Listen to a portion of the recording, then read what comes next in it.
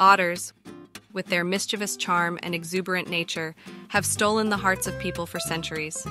Renowned for their playfulness, these fascinating aquatic mammals possess a remarkable ability to find joy in their watery realms.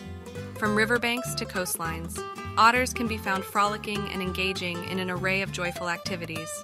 Their playful behavior manifests in various forms, including sliding down muddy embankments, engaging in wrestling matches, and indulging in intricate games of chase. Whether solo or in social groups, otters seize every opportunity to turn their surroundings into an aquatic playground. As otter pups engage in playful interactions with their siblings and parents, they refine their coordination, agility, and hunting techniques. Through mock fights and playful wrestling, young otters develop essential skills needed to navigate their environment, catch prey, and establish dominance within their social hierarchy.